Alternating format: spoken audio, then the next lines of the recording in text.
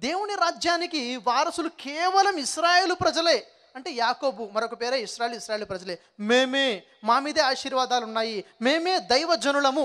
ఇక్కడ మనం పరిశీలిస్తున్నటువంటి విషయము జవాబు కోసం చూస్తున్న విషయం అంటే అసలు ఈ ఇస్రాయల్ ప్రజలు యొక్క స్వభావం ఏమిటి అసలు? ఎందుకు ఇలా చేస్తున్నారు? ఇలా చేయటానికి గల కారణం ఏంటి? వీరి స్వభావం ఏమిటి? వీరికి అసలు ఆ జ్యేష్ఠత్వమైన దేవుని రాజ్యక వారసత్వం ఎలా లభించింది? ఈ విషయం మనం తెలుసుకుంటే ఈరోజు మనం మాట్లాడిన పూర్తి అంశం కూడా అర్థమవడం కోసము ఇది ఒక సాధనంగా ఉపయోగపడుతుంది ఒక ఉపయోగకరంగా ఉంటుంది. ఈ ఐదో విషయం కనుక మీకు అర్థమవుతాయి. యాకోబుకి ఆశీర్వాదం అంటే ఇజ్రాయేల్ ప్రజలకి ఆశీర్వాదం ఎలా లభించింది? దేవుని రాజ్యానికి వారసత్వం ఎలా లభించింది? ఇది మనకు ఎక్కడ తెలుస్తుందంటే ఆది కాండము ఇరవై ఐదో అధ్యాయము ఇరవై ఒకటో వాక్యం నుంచి ముప్పై నాలుగు వాక్యాలు. మరియు ఆది ఇరవై ఏడో అధ్యాయం ఒకటి నుండి ముప్పై ఆరు వాక్యాలు. ఇస్సాహ్ ఇస్సాహు భార్య అయినటువంటి రిబ్కా వీరి యొక్క వీరికి సంతానం గురించి తెలియచడం జరిగింది. అక్కడ ఉన్న సంతానంలో అక్కడ మనకు అర్థమవుతున్న విషయం ఏంటో గుర్తించే ప్రయత్నం చేద్దాం. రిబ్కా అంటే ఇస్సాహు భార్య. అబ్రహం యొక్క చిన్న కుమారుడైన ఇస్సాహు భార్య రిబ్కా గర్భం దాలుస్తుంది. ఆ గర్భంలో ఇద్దరు పిల్లలు కవల పిల్లలు ఉంటారు. ఒకని పేరు ఏషావు రెండో వాని పేరు యాకోబు. ఇప్పుడు చూడండి చరిత్ర ఎలా ముందు కొనసాగుతుందో. అయితే రిప్కా ప్రసవిస్తుంది. ముందుగా ఏషావు పుట్టాడు. ఆ తర్వాత యాకోబు పుడుతున్నాడు ఎలా? ముందు పుట్టినటువంటి ఏషావు యొక్క మడమ కాలు మడమ పట్టుకుని పుడుతున్నాడు.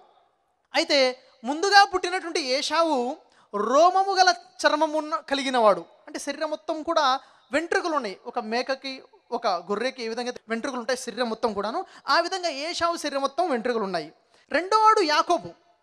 ఈ యాకోబు శరీరం మొత్తం నున్నగా నార్మల్గా ఉంది. ఈ ఇద్దరు ఉన్నారు ఈ ఇద్దరు పుట్టిన తర్వాత వీరిద్దరూ పెరిగి పెద్దవారయ్యారు. ఒకరోజు ఏమైందంటే ఏషావు బయటికి వెళ్ళాడు వేటాడడం కొరకు. చాలా సమయం గడిచిపోయింది. వేట దొరకలేదు. చాలా అలసిపోయాడు. ఆ అలసటలో ఆకలి మొదలైంది. విపరీతమైన ఆకలి. ఆ పరిస్థితుల్లో ఏషావు ఇంటికి తిరిగి వచ్చాడు. ఏషావు ఇంటికి వచ్చినప్పుడు యాకోబు వంట వండుతూ ఉన్నాడు చిన్న తమ్ముడు. కలగూర కూర వండుతున్నాడు. అప్పుడు చూసి ఆశగా అంటాడు యాకోబు నాకు కొంచెం ఆహారం పెట్టు. చాలా ఆకలిగా ఉందని అడుగుతాడు. ఇదే అదునుగా చూశాడు. నేను నీకు అన్నం పెట్టాలంటే నీవు కలిగి ఉన్న జ్యేష్ఠత్వం నాకు ఇచ్చేయాలి అవకాశవాది. అవకాశం దొరికింది. వాదిస్తున్నాడు.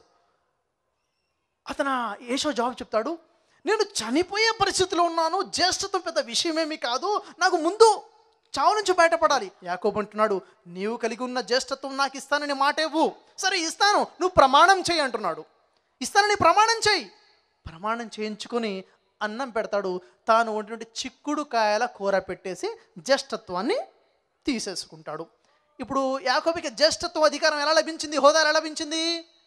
ఈ అవకాశవాదం ద్వారా కనీస కనికరము కూడా కనీస దయ కూడా కనీస మానవత్వం కూడా చూపకుండా సొంత అన్న చావు బతుకుల్లో ఉన్న పరిస్థితుల్లో కొంచెం అన్నం పెట్టడం కోసము ఒక ముద్ద అన్నం పెట్టడం కోసము ఆ అవకాశవాదాన్ని ఉపయోగించుకొని తీసుకున్నాడు యాకోబు. అతని పేరే ఇజ్రాయేలు. ఇజ్రాయేల్కి జ్యేష్ఠత్వం ఎలా లభించింది? మీకు విషయం అర్థమవుతుంది. వీరిద్దరి తండ్రి ఎవరు? ఇస్సాహ్.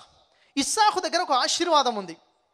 ఆ ఆశీర్వాదము తను ఎవరికైతే ఇస్తాడో వారే ఆశీర్వదించబడతారు. ఒకే ఒక ఆశీర్వాదం ఉంది. అది దేవుని రాజ్యానికి సంబంధించిన ఆశీర్వాదము. చాలా గొప్ప ఆశీర్వాదము. ఇస్సాకు ముసలివాడైపోయాడు. కళ్ళు కూడా కనబడటం లేదు అంధుడైపోయాడు. అప్పుడు ఏషావుని పిలిచాడు ఎవరిని? ఏషావు పెద్ద కుమారుడు. పెద్ద కుమారుడు అంటే చాలా ఇష్టం. ఎందుకు? కష్టపడతాడు. చిన్న కుమారుడు అంటే రిప్కాకి ఇష్టము. పెద్ద కుమారుడు అంటే ఇస్సాకి ఇష్టము. ఇస్సాకు పెద్ద కుమారుని పిలిచాడు. ఏషావుని పిలిచి ఏషావు నేను ఎప్పుడు చనిపోతానో నాకు తెలియదు. నా మరణం సమీపించింది ఎప్పుడుందో నాకు తెలియదు కాబట్టి నేను నిన్ను ఆశీర్వదించినట్లుగా నీవు వెళ్ళి వేటాడి మంచి మాంసం వండుకొని తీసుకునిరా. నేను అది తిని నేను నిన్ను ఆశీర్వదిస్తాను అన్నాడు. ఇది ముఖ్యమైన ఆశీర్వాదం ఇది. వెంటనే ఏషో ఏం చేశాడు? అడవికి వెళ్ళిపోయాడు. ఎప్పుడైతే ఇస్సాహ్ పెద్ద కుమారుడైన ఏషావుకి ఈ మాట చెబుతూ ఉన్నాడో అప్పుడు రిప్కా వినింది. భార్య వెంటనే యాకోబుని పిలిచింది యాకోబు అని పిలిచి మీ తండ్రి నీ అన్నయ్యన ఏషావుతో ఇలా చెబుతూ ఉండగా నేను విన్నాను నువ్వు నేను చెప్పినట్టుగా చెయ్యి. ఏం చేయాలమ్మా? నువ్వు వెళ్ళి వెంటనే మందలో నుంచి రెండు ఏటలు తీసుకురా రెండు మేకపోతులు తీసుకురా. నేను మంచి మంచి వంట చేసి పెడతాను. ఆ వంట తీ వండిన వంట తీసుకెళ్ళి నీ నాన్న దగ్గరికి వెళ్ళేసి ఆ వంట అతనికి తినిపించి ఆహారాన్ని తినిపించి ఆ ఆశీర్వాదం నువ్వే పొందేసేయి. యాకోబ్ అంటాడు నేను తండ్రి దగ్గరికి వెళ్ళి ఇలా చేస్తే తండ్రి నన్ను గుర్తుపడతాడు కదా. నన్ను తాకి చూస్తే నేను నున్నని చర్మం గలవాడను నా అన్న ఏషావు రోమము గల చర్మం గలవాడు కదా. నన్ను గుర్తుపడతాడు మరి నాకు ఆశీర్వాదానికి బదులుగా శపిస్తాడేమో. శాపమే నాకు వస్తుందేమో అంటే రేపు అంటుంది ఆ శాపం నా మీద రావుగాక నువ్వు మాత్రం నేను చెప్పినట్టు చెయ్యి. సరే యాకోబు వెళ్ళాడు తీసుకొచ్చాడు తల్లి వండింది ఆ వంట మంచి కమ్మని క- వంట తయారు చేశారు. ఏ షావుకు సంబంధించిన ఒక దుస్తులు డ్రెస్ ఉంటుంది. ఆ దుస్తులు తీసుకొచ్చి యాకోబుకి తొడిగిస్తుంది రిప్కా దుస్తులు. ఎందుకు? పొలంలో పనిచేసే దుస్తుల్లో ఉన్న వాసన ఏంటో తెలుసు. ఏష ఇస్సాకు గుర్తుపడతాడు. ఆ దుస్తులు తొడిగిస్తుంది. ఆ తర్వాత ఆ మేక చర్మం ఏదైతే ఉందో వంట ఉన్న చర్మం యొక్క ఆ చర్మాన్ని తీసుకొచ్చి ఆ చేతుల మీద మెడ మీద నున్నగా ఉన్న ప్రదేశంలో కప్పివేస్తుంది ఎందుకని? రోమములు గల చర్మంగా ఉండాలని. ఇంకా వెళ్ళు అంటే అప్పుడు చూడండి ఏమవుతుందో యాకోబు వెళ్ళాడు. ఇసాకు దగ్గరికి తండ్రి అని పిలిచాడు. ఎవరు నాయనా? నీవెవరు? అంటే యాకోబు అంటున్నాడు. యాకోబు ఏమంటున్నాడు? నేను నీ జ్యేష్ఠ కుమారుడనైన ఏషావును. ఏమీ? అనగా నీవు చెప్పినట్లుగా నీ ఆశీర్వాదం పొందుట కొరకు నేను వెళ్ళి వేటాడి నీ కొరకు ఆహారం తీసుకొచ్చాను. నువ్వు లేచి ఆహారం తిని నన్ను ఆశీర్వదించుము. ఇస్సాకి డౌట్ వచ్చింది. నీవు నా జ్యేష్ఠ కుమారుడమైన ఏషావువేనా? అంటే యాకోబు అంటున్నాడు అవును నేను నీ జ్యేష్ఠ కుమారుడైన ఏషావునే. మళ్ళీ అబద్ధం చెప్పాడు. సరే ఇతనికి నమ్మకం వచ్చేసింది. నేనే అంటున్నాడు నేను చెప్పినట్టే చేశాడు పట్టుకుంటే రోమాలు ఉన్నాయి అని చెప్పేసి ఆ ఆహారం తినేసి తన దగ్గర ఉన్న ఏకైక ఆశీర్వాదము దేవుని రాజ్యానికి సంబంధించిన ఆ ఆశీర్వాదము ఆ యాకోబుని ఆశీర్వదిస్తాడు. మనస్ఫూర్తిగా ఆశీర్వదిస్తున్నాడు. చివరి ఆశీర్వాదం ఏకైక ఆశీర్వాదము యాకోబు మోసగుండితనముతో తండ్రిని మోసం చేసి అన్నని మోసం చేసి ఆశీర్వాదాలు పొందాడు. ఈ విధంగా ఆశీర్వాదాలు తను తన సొంతం చేసుకున్నాడు దొడ్డి మార్గంలో. ఆ తర్వాత అక్కడి నుంచి యాకోబు వెళ్ళిపోగానే ఏషావు వచ్చాడు. ఏషావు వంట వండుకొని వచ్చాడు. వచ్చి తండ్రి! అనగానే ఎవరు నాయనా?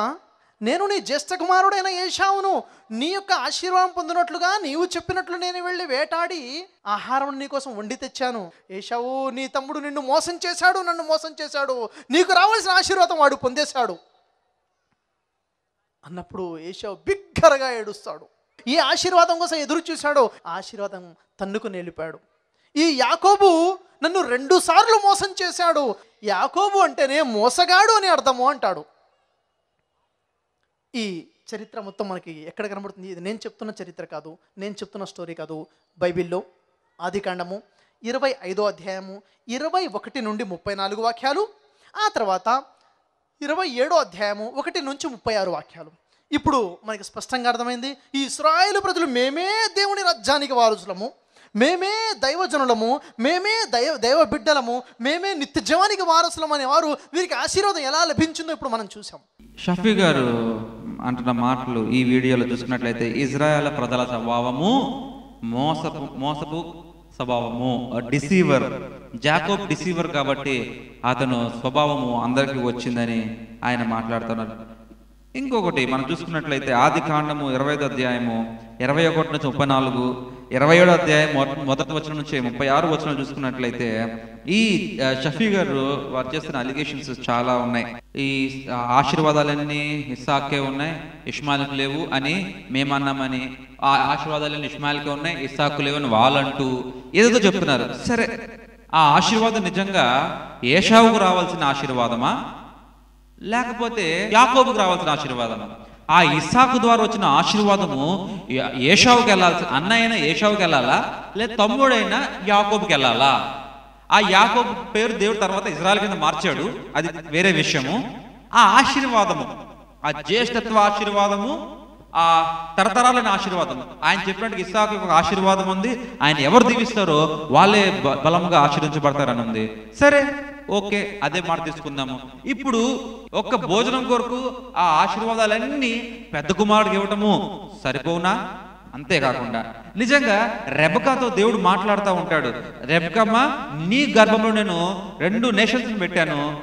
పెద్దవాడు ఎప్పుడు చిన్నవాడు సాగిలు పడతాడు చిన్నవాడు పెద్దవాడిని రూల్ చేస్తాడు అని వాక్యం ఉన్నది.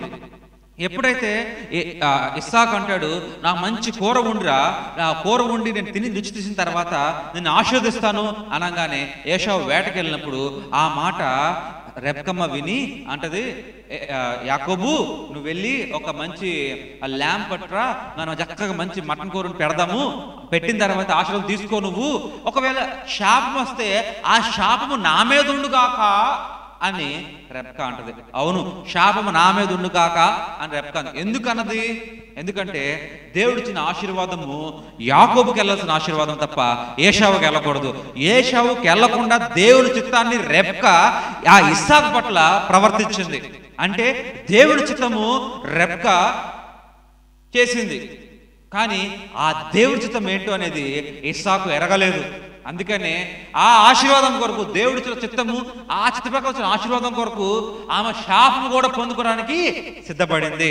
అంతేగాని మోసము చేసి కాదు దేవుడు ఆజ్ఞ ప్రణాళిక చిత్త ప్రకారం వాక్యం చెప్తున్నారు కదా మోసం చేశారని అదే వాక్యం ముందేమునుంది అది యాకోబుకి రావాల్సిన ఆశీర్వాదం అని యహోవ తండ్రి రెప్కాకి ఆ వాగ్దానం ఇచ్చాడు ఆ వాగ్దానము రెప్కా నెరవేర్చింది.